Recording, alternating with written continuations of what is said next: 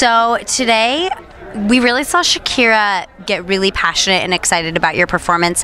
How does that feel when she's coaching you like that? It's pretty awesome. I mean, she has always been so genuine and very heartfelt with everything she says, and she gets really into coaching, and, and, you know, and she wants to see me do well, and she picks apart the song and tells me like where where to do what and and what to really drive home on, and so it's really cool to see her, you know, give me a standing O at the end of it because it's like, yay, it worked, you know, like everything we talked about kind of came together.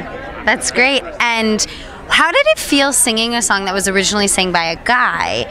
You haven't done that yet, and you come on, and that's like a little nerve wracking, and there's pressure, and they're already calling you the mold. You know, you're breaking mold on the show, and so how does that feel like doing it again? It's pretty awesome to be able to take on such a song, uh, you know, written with such tremendous words. I mean, that his story is amazing. And um, but then having Lee Brice be the one to blow this one up and, and take number one last year for a song and having to, to take the stage, it's a lot to fill. You know, big shoes to fill for me. But um, I was really happy with that opportunity to do so.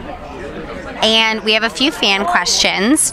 So, what is your most embarrassing moment on stage ever? Oh, um, during rehearsals, there's been times where I've tripped and like almost totally fallen over because there was like a little height difference on the on the platforms.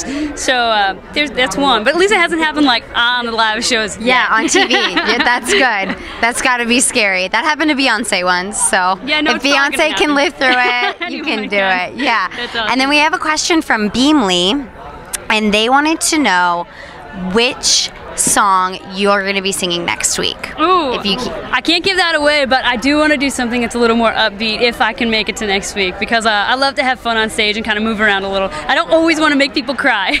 what was the first song that you ever performed? First song I can remember performing was like my first solo in first grade, and it was like a Peter Pan song. And I was the most awkward little kid with my hands in my pocket, rocking back and forth on my, my feet. And it was, my mom was in the audience going, Take your hands out of your pocket. That's awesome. Do you think about your mom doing that still today if you ever put your hands in your pocket on stage? Yes, I do. I always remember to try to kind of like put my shoulders back.